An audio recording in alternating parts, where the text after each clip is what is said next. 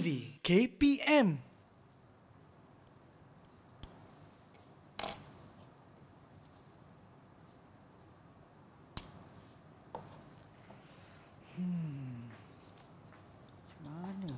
Hai Sean.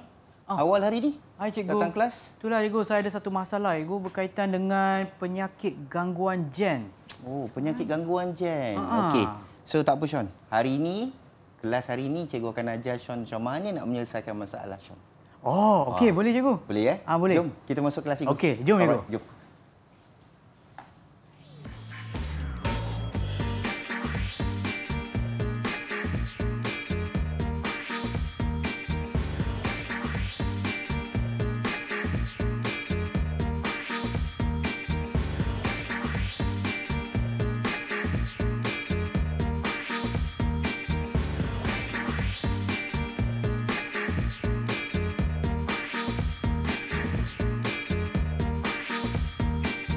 Salam sejahtera. Anda sedang menonton slot menengah atas di Didik TV KPM bersama dengan saya, Sean Steven, selaku pengacara anda. Dan untuk hari ini, mata pelajaran kita adalah sains bersama dengan Cikgu Roslan. Hai Yeah, Cikgu. Sean. Hai Sean. Apa khabar Cikgu? Khabar baik Sean.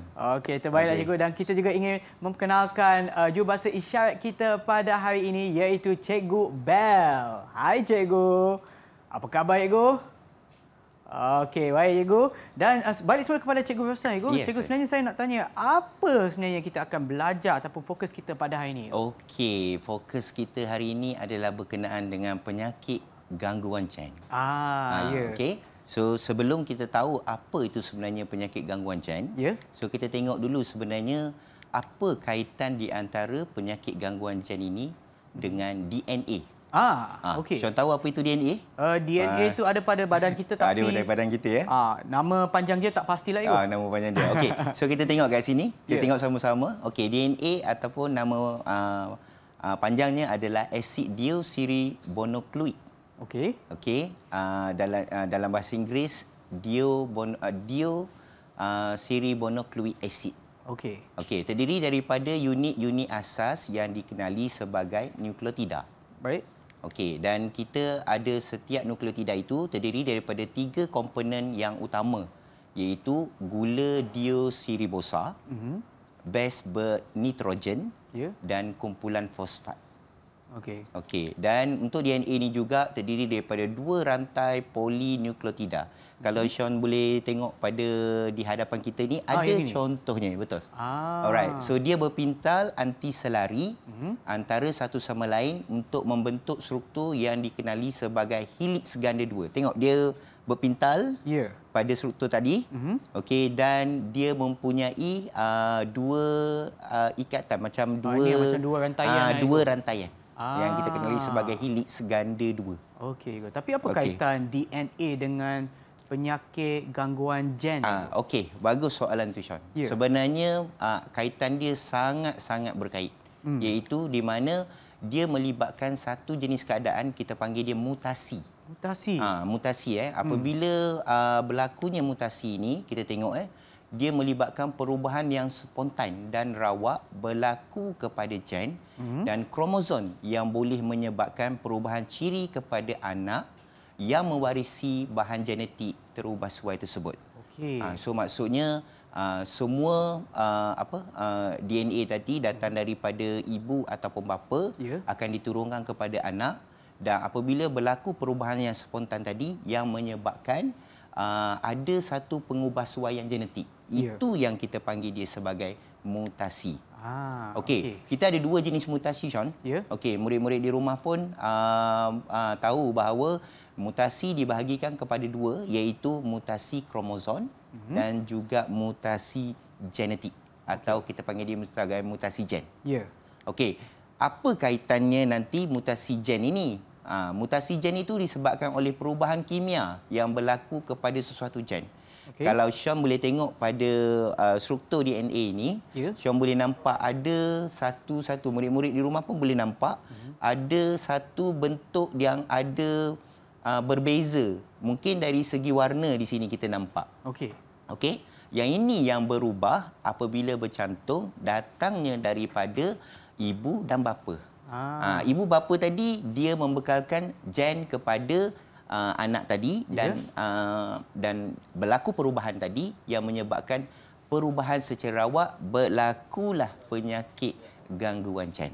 Oh, okey, mutasi okay. gen juga boleh menyebabkan perubahan ciri yang dikawal oleh gen tersebut. Mm-hmm. Okey, kalau kita tengok penyakit gangguan gen ini, kita tengok dia dari segi bagaimana bahagian yang kecil-kecil. Macam boleh nampak yang warna biru, warna ha. kuning, yang warna merah.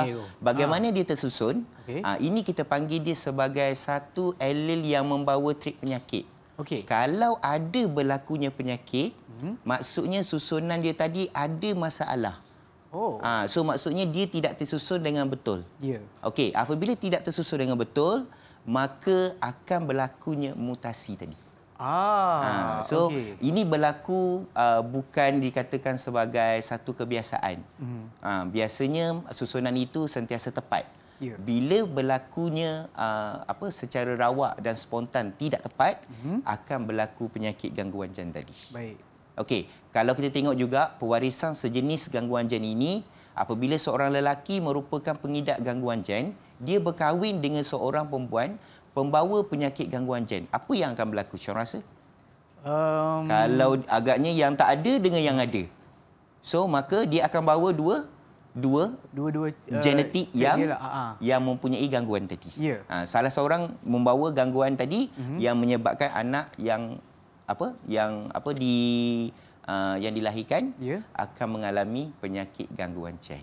Oh. So maksud Sean jangan risaulah. Ya. Sebabnya memang bukan daripada Sean sendiri, mungkin yeah. ada datang daripada keturunan-keturunan yang dah lepas. Oh, macam tu. Okey, sekarang yeah. saya dah faham dah yeah, apa betul. kaitan uh, DNA, DNA dengan penyakit gangguan gen. gen. Ya, okey. Okay. Dan sekarang kita akan berehat seketika kembali semula selepas ini okay. di slot menengah atas di Didik TV KPM.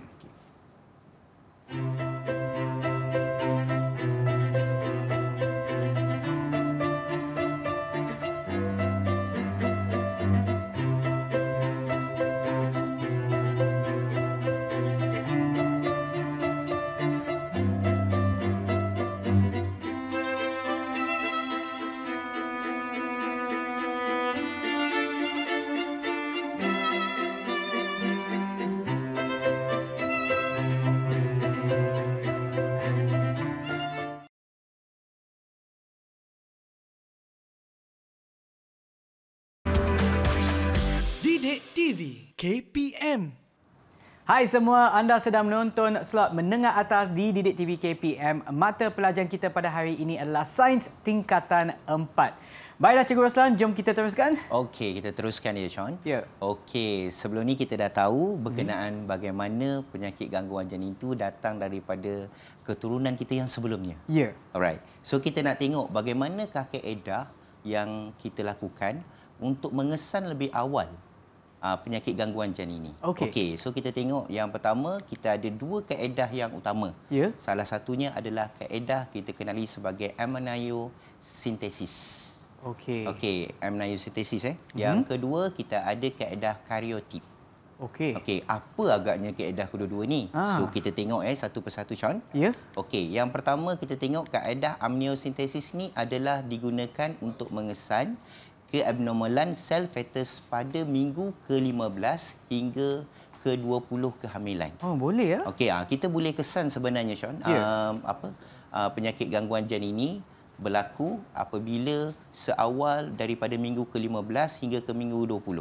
Okey. Okey, sebab kita tahu bahawa uh, penyakit gangguan jan ini dia bukan seperti kita sakit demam, yeah. kita sesema, kita ah. boleh pergi ambil ubat. Hmm. Eh, dia melibatkan uh, apa urutan DNA yang Uh, kesilapan uh, urutan DNA tadi secara okay. rawak, secara spontan tadi mm-hmm. yang tersusun yang menyebabkan berlaku penyakit ini. Ah, okey. Okay. Dan kita tahu juga bahawa uh, pada keadaan fetus eh, di dalam uterus tadi mm-hmm. yang dikenali sebagai uh, teknik ultrabunyi untuk memastikan keadaan fetus yang lebih selamat. Yeah. So maksudnya apabila orang apa uh, ibu mengandung tadi, mm-hmm. okey uh, dia nak apa uh, membuat pemeriksaan mm-hmm. uh, pada kandungannya tadi, dia akan lihat pada sel fetus tadi uh, agaknya bagaimana uh, keadaan sel fetus tadi. Adakah berlaku penyakit gangguan jen? Ya. Okey, walau bagaimanapun kaedah aminostasis ini kita jalankan hanya untuk mengesan seawal minggu ke-15 hingga minggu ke-20 kehamilan. Okey. Sebelum dilahirkan. Ah, sebelum dilahirkan ya Sean. Ya. Okey, kalau uh, Sean boleh tengok di sebelah situ, saya mm-hmm. ada sesuatu untuk Sean Ah, yang ini. supaya Sean boleh padamkan mm-hmm. uh, bagaimanakah kaedah aminosintesis ini Ya. uh, daripada peringkat permulaan iaitu kaedahnya sampai pada kita dapat mengenal pasti berlakunya penyakit gangguan janin ini. Okey. Okey, kalau Sean tengok pada uh, apa slide dan uh, pada uh, kedudukan gambar rajah di sebelah Sean tu, Ya. okey, uh, saya ada letakkan uh, di manakah kedudukan atau langkah-langkah bagaimana kaedah ini dijalankan. Okey. Okey, kita ada yang pertama berkenaan dengan Sean boleh tengok di uh, di uh, di depan Sean tu ada Ya. uh, apa di di bawah tu ada Oh, yang ah, ini, berkenaan Ego? dengan itu. Okey, Ah. jawapan-jawapannya. Okey, okey. Kita Ini nak uji Sean hari ini hmm. untuk mengenal pasti bagaimanakah kaedah ini dijalankan. Okey. Okey, okey. Sean uh, boleh uh, lekatkan Okey. yang mana agaknya sebab kita nak uji Sean. Mhm. Okey, uh, bagaimana kaedah-kaedah ini dijalankan Baik. satu persatu mengikut langkah-langkah yang telah ditetapkan. Baik. Sean boleh ambil daripada jawapan itu dan Ya. lekatkan pada langkah yang pertama sehingga langkah yang keempat. Okey, cikgu saya cuba Okey, ya, Ego. ah, murid-murid di rumah Okey. pun boleh boleh cuba di rumah agak-agaknya yang mana satu. Okey, kita mulakan dengan langkah yang pertama. Langkah yang agak-agaknya Sean rasa yang mana? Boleh ambil jawapan itu dan Ya. boleh lekatkan pada Baik. board tadi. Saya rasa sebab langkah yang pertama tu disebabkan Ah, cuba tengok pada gambar rajah kan, tu. Ah, Ha. okey. Uh, jadi jarum tu saya nampak dah dah ada Ah, jarum tu. okey. Uh, dicucuk masuk baik uh, mungkin untuk uh, mendapatkan DNA, DNA. ataupun um, bendalih yang mengandungi DNA tersebut Yes, lah. Saya rasa ini Ego. Ini jawapan Okey, dia. yang jarum pertama- akan dimasukkan kejap Okey. Ego. Alright. jarum akan dimasukkan Okey. dengan berhati-hati Di- melalui bahagian abdomen, Abdomen, ibu menembusi dinding uh, dinding uterus. Alright. Ah, Okey, itu jawapan Sean yang pertama. Ya. Yang Okey. kedua pula saya rasa Tiga lepas dah Yang dapat ni Selepas uh, pada jarum dah dimasukkan tadi, ah, yang ini Ego. Ah. Bendalih amnion Okey. yang mengandungi sel fetus yang terampai diekstrak keluar. Yes, betul. Dah kalau cucuk takkan nak biarkan ni Sean. Aha, ya, Mesti betul. dia dibawa keluar Sean. Ah. Betul. Okey. Alright, kita tengok dulu. Kita tengok dulu jawapan Sean tu betul ke tidak dengan jawapan sebenar. Okey, baik. Okey, so kita tengok yang ketiga Sean. Okey. Apa ke yang ketiga? Yang ketiga Ego, Okey. uh, saya rasa adalah ini. Ah. Okey, lepas kita dah ekstrak ataupun keluarkan uh, bendalih Okey. amnion tu. Okey. Okey, saya rasa yang ini Ego, Okey, bendalih amnion ni kemudiannya amnion tadi. diemparkan untuk mengasingkan diemparkan amnion. dengan mengasingkan bendalih amnion dengan sel sel fetus. Ya. Okey, Okey. dan jawapan Sean yang keempat. Keempat pula yang ini. Apakah Ego. langkah yang keempat? Yang ni yang tertinggal yang tinggal yang ni Alright. sahaja so, Ego. kita ada sel Sel sel fetus. fetus yang Ah. terasing akan digunakan untuk mendapatkan kariotip. Ya. Okey. Ini jawapan saya, Ego? Ah, ini jawapan Sean eh? Ah, okey. Alright. Okey. Kita tengok juga jawapan murid-murid di rumah. Ah. murid-murid di rumah boleh semak ya. Betul ke tidak jawapan Sean tadi? Ya. So, kita semak betul ke tidak? Yang Okey. pertama, yang kedua dan yang ketiga. Sean Okey. rasa macam mana? Betul semua Saya ke? rasa saya uh, agak confident lah Ego dengan Nah, jawapan confident saya. eh? Confident betul semua? Ah, betul. Oh, Okey, okey. Kita tengok satu persatu ya.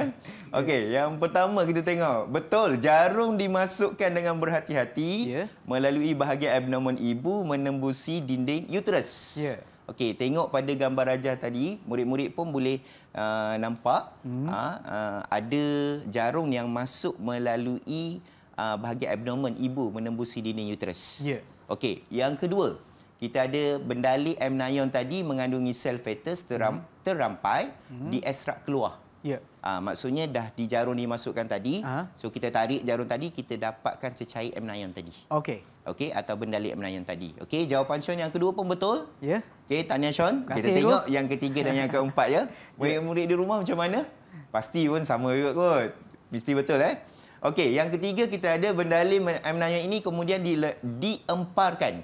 Okey, untuk mengasingkan bendalih amnion dan sel fetus. Okey. Okey, yang diemparkan itu tadi kita gunakan satu mesin nama dia adalah uh, chromatography. Okey. Iaitu uh, uh, TLC, thin layer chromatography. Okey, baik. kita emparkan supaya dia mendap. Ah. Ah, dia mendap. Bila dia mendap ke bawah, mm-hmm. baru kita pergi yang ketiga iaitu eh, yang keempat. Sel fetus yang terasing akan digunakan untuk mendapatkan keratin. Ah. Ah. so maksudnya kita dah dapat hasil dia tadi.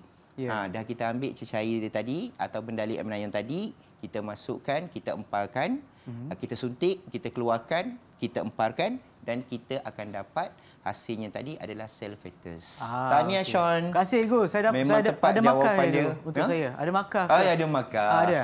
Yang ini saya bagi 5 per 5. Walaupun Lima jawapannya per 4. lima. Okey, terima kasih, Cikgu. 5 per 5 eh. Okey. Tahniah Sean. Terima Okey, kita teruskan ya Sean. Ya. Okey, uh, kita ada tayangan video bagaimana sel daripada sel fetus tadi, okey, kita akan uh, jadikan dia sebagai bahan untuk penentuan keratin. Okey. Ah, ini kaedah yang kedua. Tadi kaedah yang pertama eh. Mm-hmm. Okey, kita dengar kita tengok video ini. Okey, jom. Okey. Okey, uh, kalau kita tengok pada video yang uh, terpapar ini iaitu kaedah yang sama digunakan iaitu mengambil sampel daripada bendali amnion tadi. Ya. Okey, dimasukkan ke dalam, diemparkan, dimasuk dalam tabung uji, diemparkan. Okey. Okey, seterusnya kita nampak apabila berlakunya uh, pengemparan tadi, ada mendakan yang ada di bawah tu, dia akan masukkan ke dalam piring Petri. Okey. Okey, dan piring Petri tadi kalau kita tengok ada beberapa bahan yang kita kenali sebagai kromosom. Mhm. Okey, dalam campuran biochemical analysis ataupun bahan uh, chemical tadi Ya. dicampur bersama untuk memastikan kedua-duanya adalah sebati. Okey. Okey, uh, sebab dia sebati tadi kita nampak pada kromosom analisis tadi kedudukannya nampak lebih jelas apabila kita buat untuk proses menggunakan mikroskop. Okey. Okey. So kalau kita tengok juga di sini bahawa uh, proses ini berlaku mengambil masa yang uh, agak lama kerana kita nak mengemparkan ataupun kita nak emparkan untuk menghasilkan sampel yang mendap itu juga mengambil masa. Ya. Okey. Uh, apabila uh, proses ini berlaku, uh, maka kita akan bawa kepada bahagian makmal untuk dianalisis mm-hmm. dan akan dilihat di bawah menggunakan mikroskop. Ah. Okey, saya akan tunjukkan kepada Sean Ya. bagaimana proses ini berlaku. Baik, Cikgu. Okey, so kita akan tengok satu persatu. Yang pertama, kita akan tengok bagaimana sampel tadi diambil, okey, dan diletakkan daripada piring Petri tadi. Mhm. Okey, kita ambil satu sampel di sini ya. Okey, kita ambil satu sampel. Okey, dan sampel tadi kita akan letak pada bahagian sisi kaca. Okey. Okey, sampel tadi kita anggapkan tu datangnya daripada uh, apa dalam tamu uji yang telah kita emparkan. Mhm. So kita ambil sampel, kita curahkan, okay. kita betulkan kedudukan dia. Ya. So kita letak di bawah mikroskop cahaya. Okey. Okey, mikroskop cahaya tadi kita uh, gunakan cahaya padanya. Mhm. Okey, kita letak pada bahagian apa? Uh, kanta dia. Ya, Cikgu. Okey, laraskan kanta. Okey. Okay. Sean pun boleh cuba. Okey, boleh, Gu. Sean Saya boleh pakai cuba. sarung boleh tangan pakai dulu. sarung tangan dulu. Ah. So kita ambil satu sampel lagi. Okey, untuk Sean. Okey, Sean boleh gunakan Okey. okey untuk uh, lihat di bawah mikroskop cahaya Okey. apakah hasilnya. Baik, Cikgu. Okey, Ya. silakan. Okey. Okey, jom. Okey, silakan eh. Okey. Okey, kita letak uh, sebelum tu uh, dah on mikroskop. Ah, Dah, belum eh? lagi. Ah, sudah, Oh, dah, sudah, dah, Ego. dah, Dah ada lampu, ya. ya. Okey, so kita letak Okey. di bawah uh, sisipan kaca tadi, di bawah uh, plat pemegang dia. Okey. Okey, dan kita boleh laraskan kedudukan. Okey, dalam mikroskop ni kita mm-hmm. tengok bagaimana kedudukan ni kita boleh laras eh. Dia boleh naik Ah, turun. okey, yang macam ini. mana keadaan macam mana yang lebih nampak lebih jelas. Okey. Okey, murid-murid di rumah pun boleh tengok di sini bagaimana mikroskop ni dapat uh, kita ada kuasa-kuasa yang berbeza di antara mikroskop tadi. Kita boleh laras mengikut keadaan eh. Okey. So kita tengok apa yang ada pada slide ini. Kalau kita perhatikan ada gambaran yang menunjukkan bahawa ada yang kita lihat eh. Okey, kalau kita tengok pada slide ini, Sean boleh tengok pada slide Ya, Cikgu. Okey, uh, keratik yang dihasilkan tadi mm-hmm. adalah daripada kaedah ini digunakan untuk mengesan sebarang keabnormalan pada kromosom. Ah. Ha, daripada keadaan fetus tadi kita bawa keluar. Ya. Okey, kita bawa keluar dan kita akan tengok adakah berlaku sebarang keabnormalan pada kromosom tadi. Baik. Okey, um, hari ini kita boleh mengesan lebih awal bagaimana penyakit gangguan jen ini berlaku. Ah. Ha, rasa-rasanya kalau kita tengok pada gambar rajah ini, dia lebih tersusun lah iaitu daripada sampel fetus yang kita ambil tadi. Ya. Yeah. Okey. Uh, diinkubasi selama dua atau tiga hari itu saya bagi tahu Sean ambil awal. Ah. Proses ini bukan boleh dijalankan dalam masa yang yang uh, singkat. Singkat. Okey. Uh, so mengambil masa selama dua dua atau tiga hari untuk diinkubasikan dia. Okey. Okey. Uh, dan penggunaan bahan kimia, sel dipindahkan dan sel tadi dipindahkan di bawah uh, sisip kaca ah, ataupun macam tadi lah uh, kaca uh, untuk mengesan uh, bahan kita tadi tu okay. diletakkan di atas sisip kaca tadi uh-huh. dan uh, kita akan uh, tengok di bawah mikroskop cahaya. Okey. Alright. So gambar kromosom yang dipotong yang disusun membentuk chiral tip tadi uh-huh. akan digunakan untuk mengesan sama ada ada ke keabnormalan pada sel fetus yang kita ambil melalui kaedah amniocentesis tadi. Ah, ha, so okay. maksudnya kita boleh kesan daripada bayi lagi, Con. Ah. Ha, macam ada ke? Jika ada, hmm. ha, kita boleh membuat persiapan lebih awal. Yeah. Sama ada kita boleh rujuk kepada pakar yang terlibat bagaimana untuk menyelesaikan penyakit gangguan cik. Ah, okey, cikgu. Ha, right? Okey. Okey. So, yeah. uh, dalam aplikasi genetik ini, uh, di mana uh, dia meningkatkan kualiti uh, kehidupan kita. Mm-hmm. Sebab kita tahu bila berlakunya penyakit gangguan jen ini, okey, dia akan memberikan kesan kepada kehidupan kita. So yeah. bagaimana kita nak meningkatkannya? Iaitu uh, penyidikan genetik dijalankan dalam pelbagai bidang untuk man- manfaat manusia seperti kita lah. Yeah. Okey, antara penyidikan genetik yang dapat meningkatkan kualiti seperti kita ada sains forensik, mm-hmm. kita ada terapi gen dan ginekologi genetik. Okey. Okey, seterusnya kita tengok sikit berkenaan dengan sains forensik. Mungkin ada murid-murid di rumah yang berminat berkenaan dengan sains forensik iaitu uh, satu bidang sains yang menjalankan kajian tentang penyiasatan jenayah. Mengenal pasti mengesahkan kronologi suatu kejadian berdasarkan bukti-bukti saintifik yang diperolehi. So maksudnya daripada kaedah yang kita jalankan tadi, kita boleh uh, aplikasikannya untuk mengesan jika berlakunya Uh, berlakunya proses uh, apa uh, uh, penyiasatan jenayah ada jenayah yang yeah. melibatkan penyakit gangguan jen ini mm-hmm. ataupun uh, ada yang menyebabkan uh, jenayah uh, pembunuhan atau sebagainya sains forensik ini adalah bertujuan untuk memberikan bukti-bukti saintifik yang diperoleh boleh digunakan di mahkamah Syah ya yeah. hmm. Okey, uh, sains forensik memainkan peranan penting dalam sistem perundangan menyediakan maklumat berasaskan saintifik melalui analisis bukti fizikal. Yeah. Okey dan uh, semasa siasatan dijalankan bukti dikumpulkan di tempat kejadian atau daripada seorang yang terlibat dianalisis di makmal seperti kita buat tadi. Mm-hmm. Okey kemudian keputusan analisis ini dibentangkan di mahkamah. Ya. Yeah. Okey kita ada terapi gen. Mm-hmm.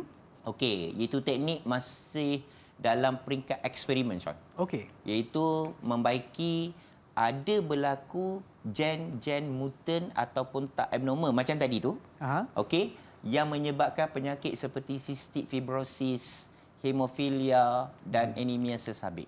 Ya. Yeah. Okey, teknik ini dijalankan dengan menyisipkan genoma ke dalam sel atau tisu badan pesakit untuk menggantikan gen yang rosak. Ah. Okey, kalau di sini kalau kita nampak pada gambar rajah ni ada bagaimana kita nak meng, uh, apa mengeluarkan sel stem daripada badan kita, okey, daripada pesakit tadi dan dimasukkan ke dalam virus yang termodifikasi. Hmm. Dan virus tadi akan berubah secara genetik untuk menghasilkan protein dan hormon yang kita perlukan. Okey. So maksudnya pada masa yang sama kita dapat mengubah sedikit penyakit gangguan gen tadi. Oh wow. Ha, walaupun kita tahu kita gunakan mikroorganisma eh virus untuk membantu kita.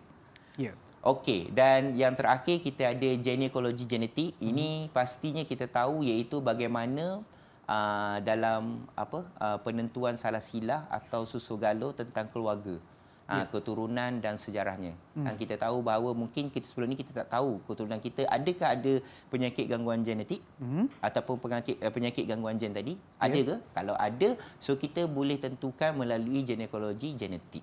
Ah. Uh, Okey. So uh, seterusnya kita rasa ujian DNA yang kita jalankan ini mm-hmm. sekurang-kurangnya dapat membantu untuk mengetahui lebih awal yeah. penyakit gangguan jen tadi mm-hmm. dan juga bagaimana untuk menentukan adakah uh, apa dia punya uh, berlakunya penyakit ini dapat dikesan dapat membantu untuk mengelakkan dia lebih uh, teruk pada masa yang akan datang. Ha, itulah dia aplikasi yang kita hmm. boleh gunakan untuk meningkatkan uh, kualiti kehidupan kita. Dan yeah. sekarang kita akan berehat seketika yeah. kembali semula selepas ini di slot menengah atas di Didik TV KPM. Okay.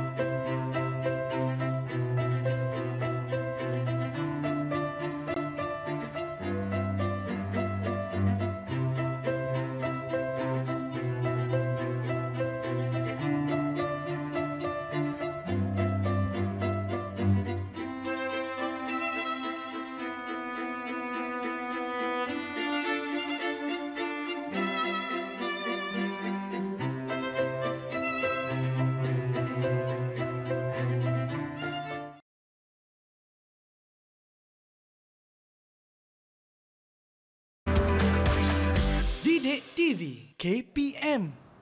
Hai semua, anda sedang menonton slot menengah atas di Didik TV KPM. Mata pelajaran kita pada hari ini adalah Sains Tingkatan 4 bersama dengan Cikgu Roslan dan juga jurubahasa isyarat kita pada hari ini, Cikgu Bell. Okey, baiklah Cikgu. Jom kita teruskan. Okey, kita teruskan, Sean. Ya. Yeah. Okey, kita tengok apakah teknologi kejuruteraan genetik. Okey. Ha, okey, apa yang uh, kita tahu bahawa kejuruteraan genetik ini ialah suatu istilah yang kita gunakan dalam pengubahsuaian genetik sesuatu organisma. Okey, uh, dia melibatkan kejuruteraan genetik yang telah diperkenalkan sekitar tahun 1971 hingga 1973 eh, dan dikenali sebagai sains kejuruteraan genetik. Okey, kejuruteraan genetik biasanya dikaitkan dengan uh, DNA rekombinan. Okey, ataupun uh, uh, satu lagi iaitu organisma termodifikasi genetik okay. Okay, dan juga melibatkan terapi gen.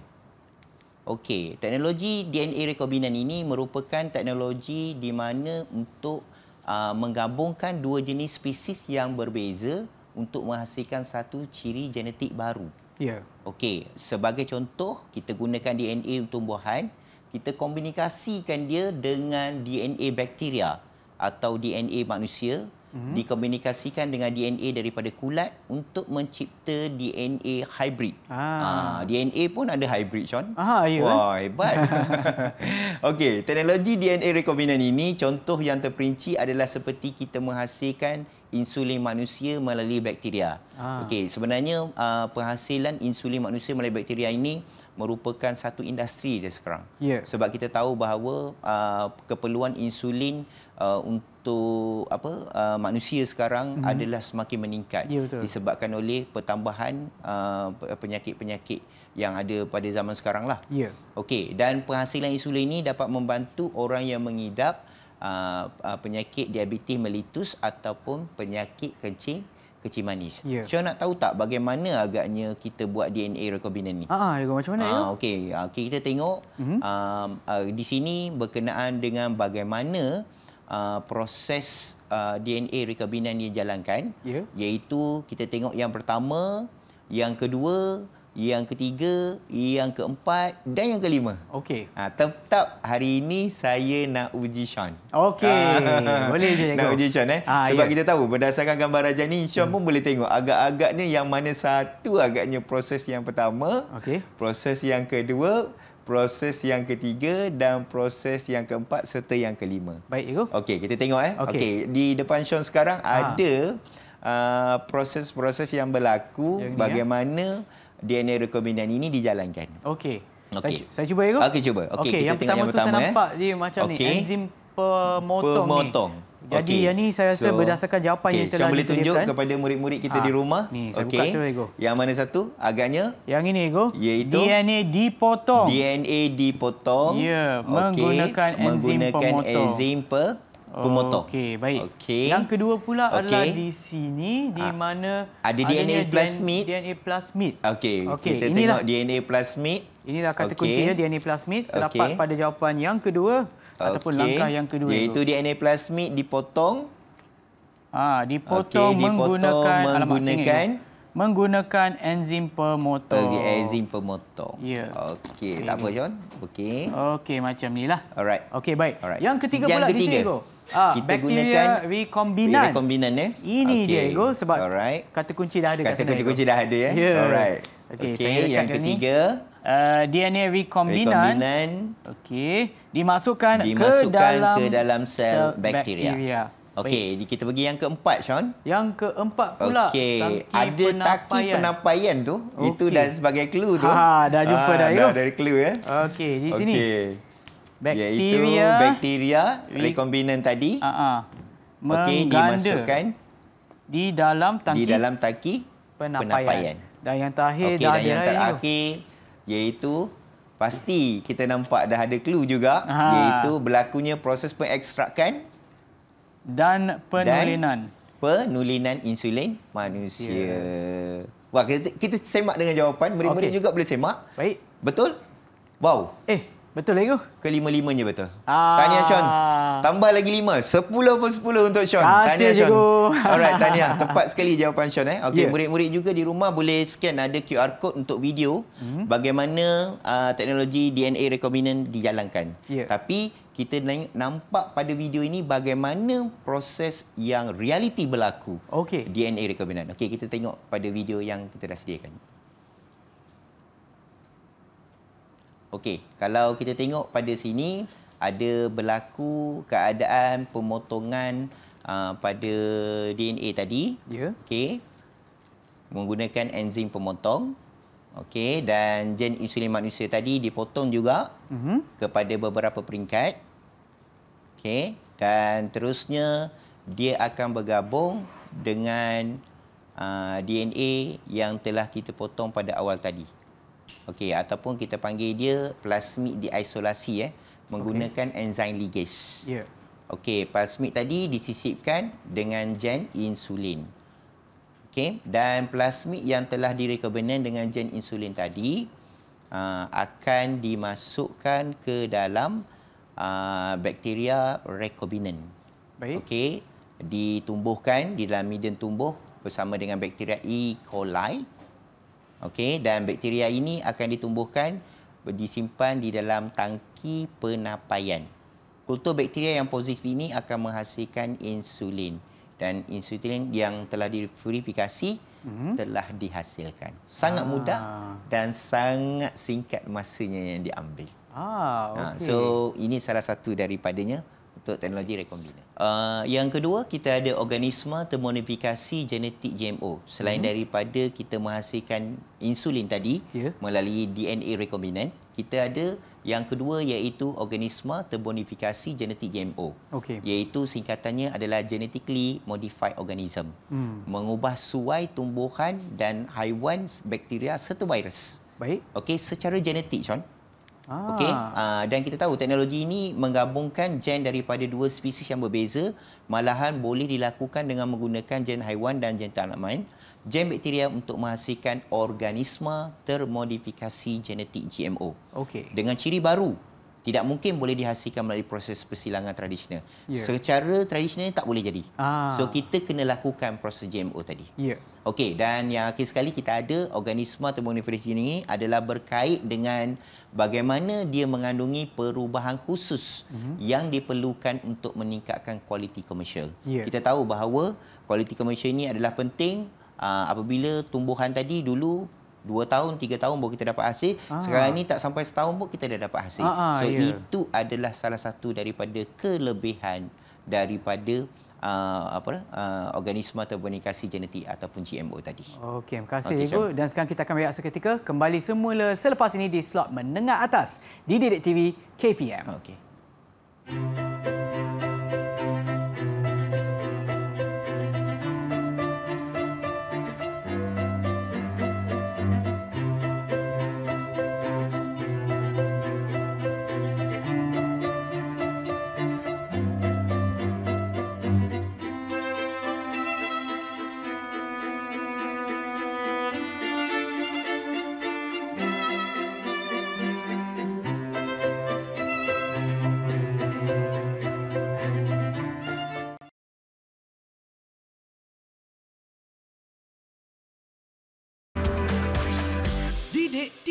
KPM Anda sedang menonton slot menengah atas di Didik TV KPM. Mata pelajaran kita pada hari ini adalah Sains Tingkatan 4. Baiklah Cikgu Roslan, Ya. apa yang kita akan belajar sekarang, Cikgu? Okey, kita akan tengok bagaimanakah uh, penyakit gangguan gen tadi Okey. daripada DNA tadi yang kita belajar, mm-hmm. daripada apa yang kita faham berkenaan dengan kesan penyelidikan genetik terhadap kehidupan manusia. Okey. Okey, sebab uh, kita tahu uh, bahawa penyelidikan genetik ini adalah merupakan salah satu daripada teknik yang digunakan untuk mengubah gen dan paling banyak digunakan dalam bidang perubatan dan pertanian. Ya. Okey, contoh kalau kita ada penyakit yang berkaitan dengan ganggu- gangguan gen tadi, okey, uh, kita mesti merujuk kepada pakar yang berkaitan hmm. supaya kita dapat kesan lebih awal. Ya. Ha, kita tahu bahawa kita uh, ada beberapa kaedah mm-hmm. teknologi yang begitu canggih buat masa sekarang. Mm-hmm. Okey di mana kita seawal daripada di dalam